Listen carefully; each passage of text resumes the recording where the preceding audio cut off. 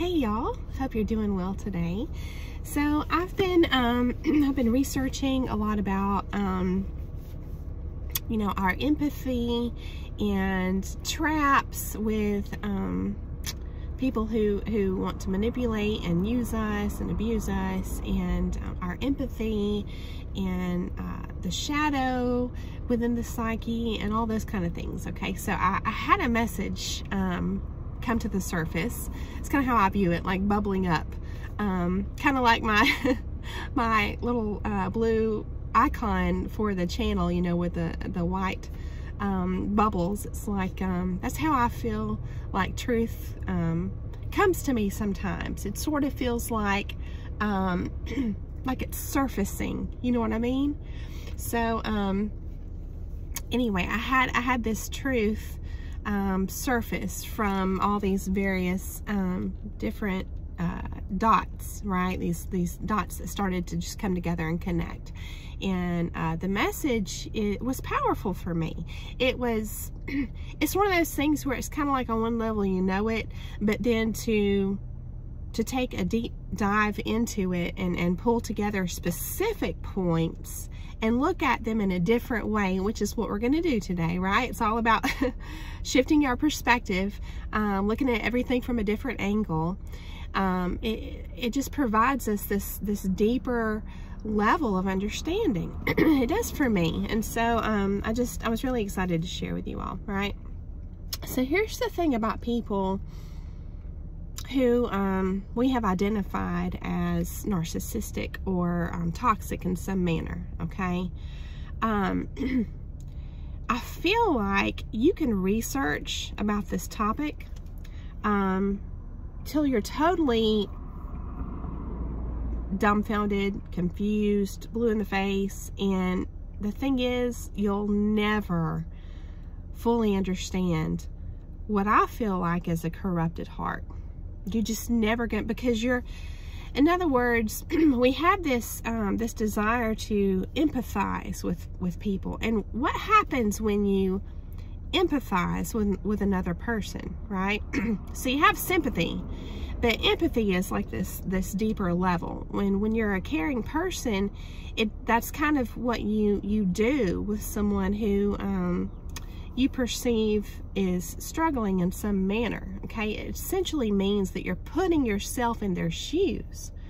And the thing is, that's why, that right there explains why we'll never understand someone with a corrupted heart because we literally can't put ourselves in their shoes um, here. Our minds and hearts just don't work that way right? And the, the trap is that, and I'm speaking from experience, the trap is that we think that everybody's psyche works the same. Wouldn't that just be so simple and neat and orderly to be able to just categorize all humans, um, you know, their psyches all operating the same way. And I feel like throughout time, um, psychology uh, clinicians and researchers have, have tried to do this. They've attempted to do this. And, and even felt like they've made some headway. But there's still a lot of aspects of, of people who exploit and use others that just can't be defined, can't be explained. And this is why I think a lot of people um, find comfort and answers in taking it from the clinical um, into the spiritual. Because it's kind of like that's the only thing that can explain a corrupted heart, right? Um, it's just hard, I think, sometimes for us to really believe. Um, it, it's easy to believe a villain in a movie has a bad heart because that's fiction you know? And it's like we we know of these stories but there's comfort in separating that from our reality you know? Because we think that's separate. That's fiction. It's not really reality. And so we think that those who are in our um our close reality like there's no way they could they could have that same kind of corrupted heart and mind like a this horrible horrendous villain in a movie. But that's why it's a shock, right? It's a shock to us. And so we're just going to be doing a deep dive into um, some perspectives around this topic today. All right, so I hope you enjoyed today's presentation, and I hope you're doing well today. All right, so um, to explore some folklore tales, and this is pulling in some tales um, from the book that I reviewed. Um, I've got a whole series on it on my channel, Women Who Run with the Wolves. It's um, full of um, folk tales that are um, very symbolic of uh, specifically with regards to um, your psyche and psychological growth and maturity, okay? So I'm just going to be pulling just a few elements together to make a point, right? to make several points. So, um, there was a story in the book called The Seal Maiden. I think it was called The Seal Maiden. I literally left my house without the book today. so, and I intended to bring it, but you know, that's, that's life, right? so, um, I think it was called The Seal Maiden. And, you know, a lot of times we and it's meant to be this way, I feel like. We relate to the main character in these stories, okay? So in the Seal Maiden, if you remember in the beginning, she was just happy, just doing her thing on this rock, right? And that's what, um, she was with her people, just rocking along, um, and um, they were just up, I think, singing and dancing on this rock, right? That was, you know, projecting up out of the ocean. Now, along came this fisherman, and remember, every character in these stories, at least in, in that book, um, the author explained that the characters were representative of a function within one person's psyche. All the characters were all within one person's psyche, right? Uh, they were um, metaphorical. So this fisherman comes along and he was lusting after her, right? He had this strong desire to take her um, as his own, as his bride, as his wife. And the fisherman, if I'm not mistaken, at least from my perspective, I can't remember how the author defined him, but I'm almost almost positive he was defined as the ego. Okay, so that was interesting. So she's she's doing her own thing. She's dancing happy, you know, just rocking out on on on the rock, um, projecting up out of the ocean, and he's he's coming along and he's lusting after her, right? And he wants to entrap her because of his desire. So keep that in mind. Then we have the handless maiden story. And um, she was a young maiden just at home um, on her family's um, farmland. And she was just content, um, innocent. Um, everything was fine. And then the father which I believe the author described as the gatekeeper of the psyche, right? He was representing that part of our psyche. But the father in the story wanted to enrich his family, right? Um, by accepting an offer um, for a trade. And so his actions were out of love for his family, right? And then you have the character of the devil in this story who wanted to entrap the maiden just like the fisherman with um, the seal maiden. He wanted to trap the maiden. Well, here we have the devil wanting to trap um, the maiden by tricking, you know, the father, the gatekeeper, right? Tricking us, essentially. Um, again, wanting to entrap the maiden because of desire, lust, want, right? So, um, what's interesting is the characters seeking to entrap the main character, right? The devil, the fisherman, they seem or feel foreign to us, right? Um, and that's where, um, when all of these characters are supposed to represent a part of our psyche, that's that's hard to grasp. And I feel like they're they're starting to get into um, what Carl Jung calls the shadow, right? The shadow aspect of us. The part, part of us that maybe we don't want to own. We want to disown that part of us and we push it away. It feels foreign to us, right? And I'm not going to go too deep into that in this video. I just wanted to point that out.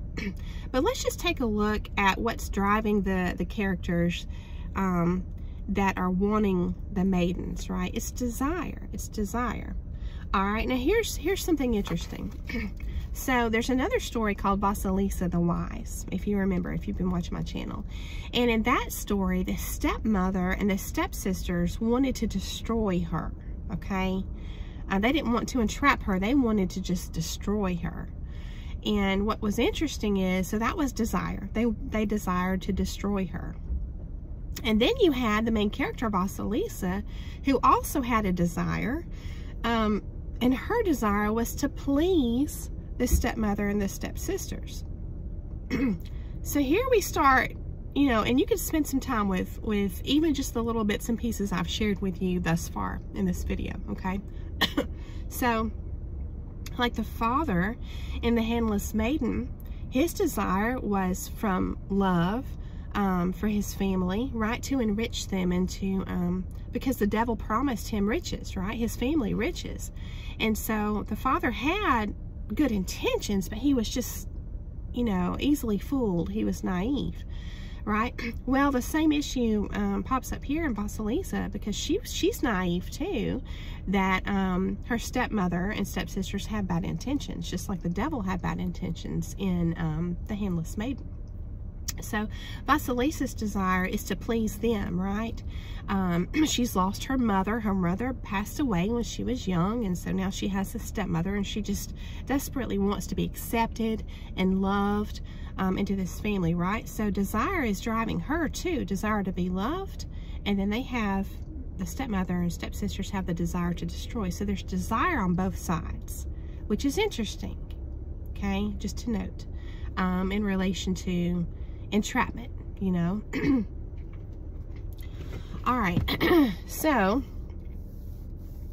here we're starting to see in this this recent story talking about Vasilisa a closer representation of what we have in a narcissistic entrapment right one seeks to destroy and one seeks to unite or pacify or uplift or heal or enrich um, so one has bad intentions and one has good intentions, right?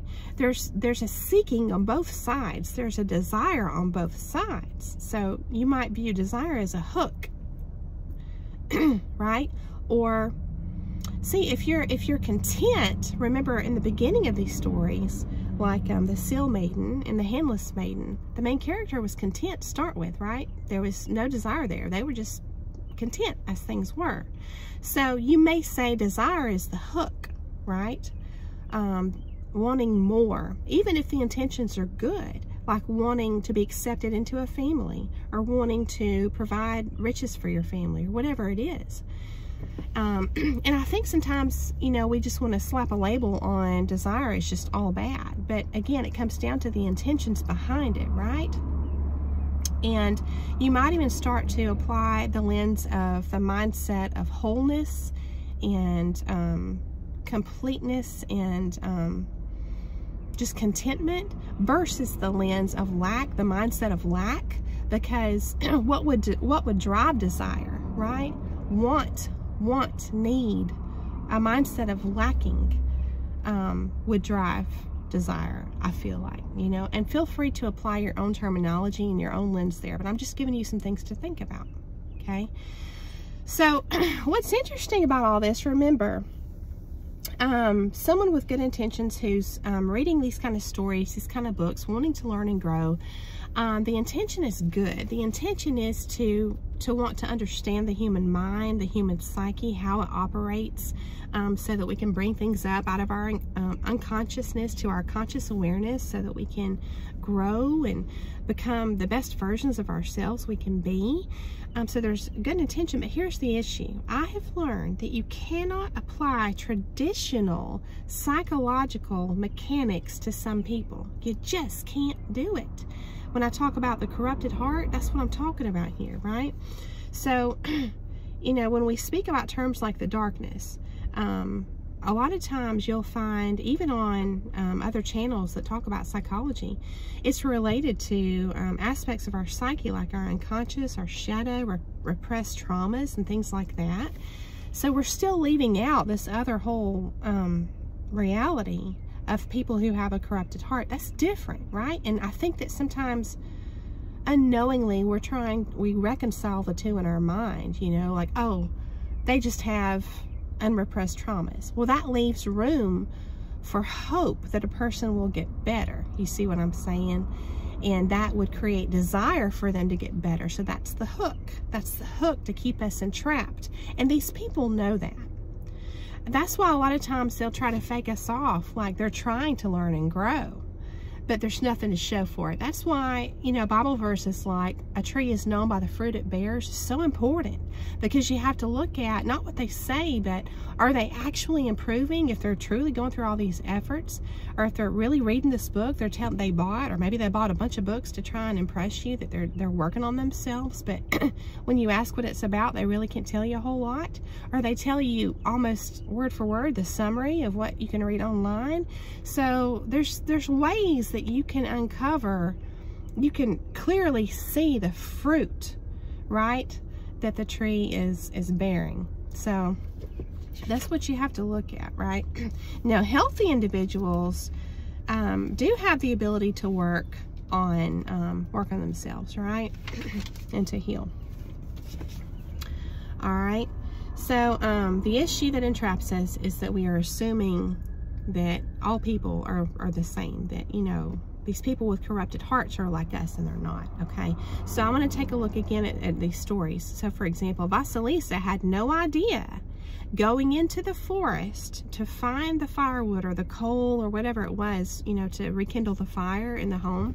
Because that was um, the quest, the, um, the mission that her stepmother sent her on, right? so she thinks that she's doing good. She wants to please, there's the desire, she wants to please her stepmother.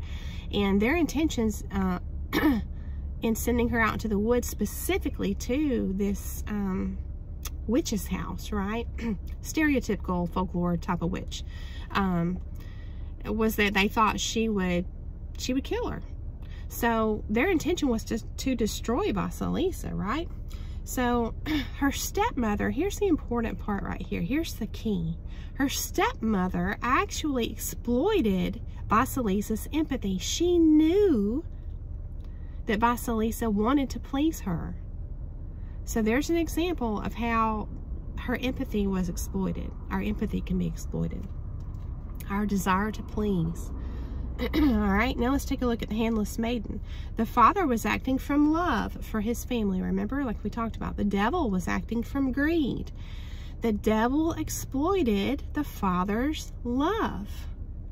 So here we have an example in Vasilisa where the main character's empathy was exploited, right? Her desire to be um, loved, um, to be accepted, um, by showing her love for through her actions, her stepmother and her stepsisters, you know, wanting to please them, wanting to um, provide them with the coal to rekindle the fire so they'll be warm.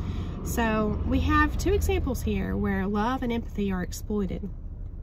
All right. so, um, all right, I'm going to read my notes here. It says, if these are now, remember, all of these characters in these stories are supposed to be um, aspects of oneself, right? And if that's the case, it gets complicated, okay? But let's just let's just look into it for a minute, okay? Because right now we're, we're relating this um, these characters to, you know, someone with good intentions um, versus someone who has bad intentions, right? So it's important, I feel like, to look at these stories in that manner too. But let's take a look at this because the author says these are all um, representative of aspects of one person's psyche. All right. So I believe it's possible that our empathy and, and or our love for others can have its own shadow. Okay, now take a look at this. when we feel that we can change a situation for the better, we have good intentions. But it gets dangerous for us when we can't accept that our empathy, our love, our tolerance, our giving nature, our desire to lead um, won't change things. That's where our ego is now part of the equation.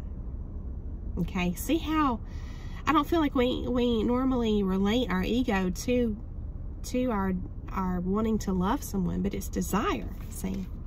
You have love and empathy, but then you have the desire to love, the desire to empathize, and the desire to um, to give and to lead and to help, right? Come to someone's aid, all of those things, right? And it's from a good place. It truly is.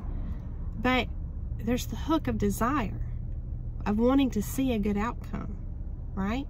So it gets dangerous when we can accept that our empathy and our love and all this stuff won't change things because what does it require? for us to be unhooked and safe and not be destroyed, right? It requires surrender.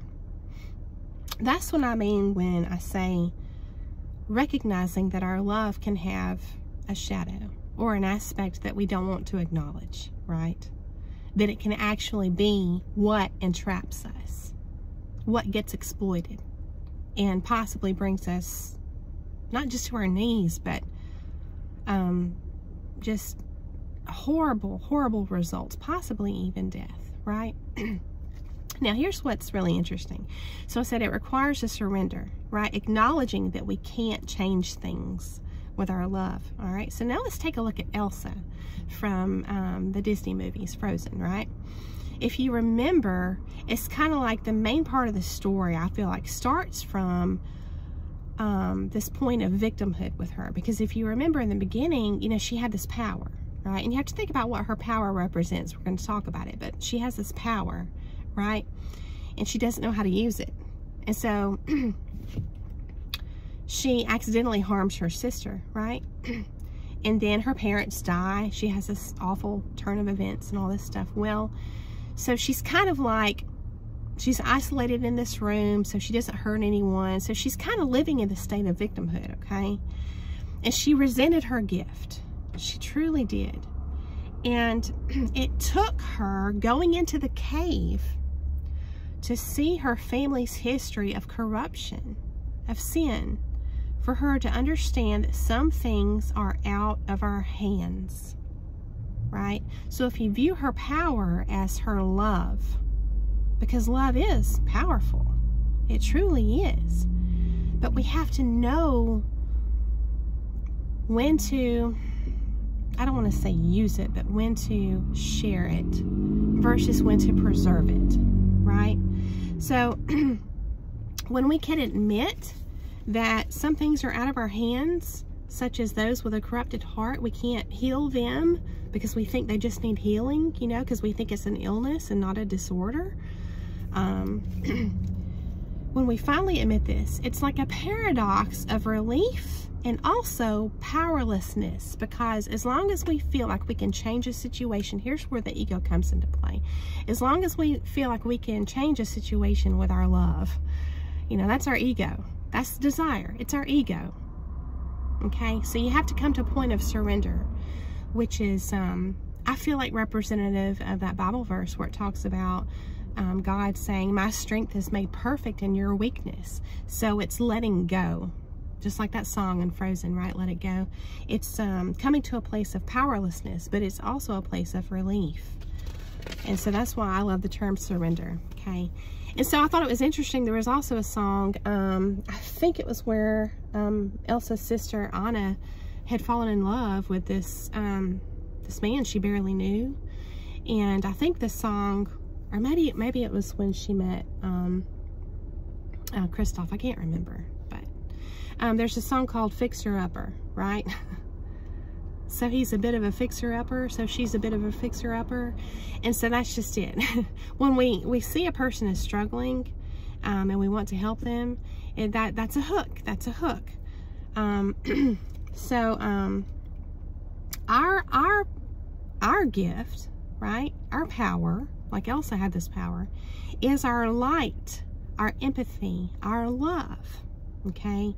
And when we start to truly see that as our biggest pearl, then we have that Bible verse come to light again, right? Don't cast your pearls before the swine, lest they turn and trample them.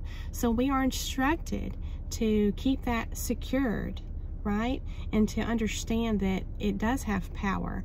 Um, power to to create a beautiful life and beautiful things in this world and also power to destroy us if our ego comes into play and we get hooked by desire because we're taking on the responsibility that is really it belongs to someone else it's another person's responsibility to um, handle their own issues and to uh, learn and grow themselves, right? And again, that's why we're full. That's why these people know this. They play on our empathy. They want to believe that they're getting better, but they really never do. And they always need, you know, our help. So I just, I want to leave you with this. I hope that you never question how much your love and your good heart is worth again. you don't have to prove anything. If you get fooled into thinking that you do, then you may be compromising your boundaries of safety, okay? Mental or physical, or mental and physical, you know, could be both. Users and abusers will try and provoke your empathy with many tactics, many, many. You'll spend countless hours spinning your wheels if you aren't careful, at the minimum, at the minimum. That's not even talking about the danger, right? you know, being sent on countless um, missions for nothing, right? That's what I mean when I say spinning your wheels. It's just all about keeping you stuck. And, and the last thing is you don't have to go deep underground, right? In the darkness, going down to their level, right? Um, to try and see things from their level because you just have this such a strong desire to empathize with them. Don't don't feel like you have to do this because remember when you do that it's you're in a danger zone at that point. All right, your empathy and your love are priceless. They're pearls. So I just hope that this encourages you to to view everything from um, from different perspectives, to apply different lenses, and to understand the value that you have inside of you. So I hope that you are encouraged to protect it as well. So thank you for listening to the message today. I hope that you have a beautiful day and I will see you again very soon.